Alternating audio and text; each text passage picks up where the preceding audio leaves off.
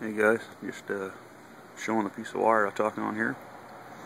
Um, got this on my second story balcony up here.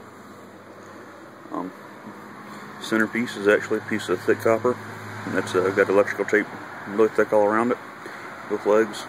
This is a meter out of a Cobra 29 solder a diode across it and, and it makes kind of like a field strength meter. Walk over here. All the way down. Here's one end of it. all the way down here. Keep two batteries outside so I can bring the uh, little radio outside. Talking on off batteries. This is the other end of it.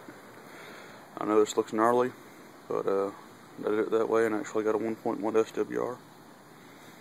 So, uh, don't know how it works, but it does work. So, but coming this way, back center, all the way across down there, and into the window.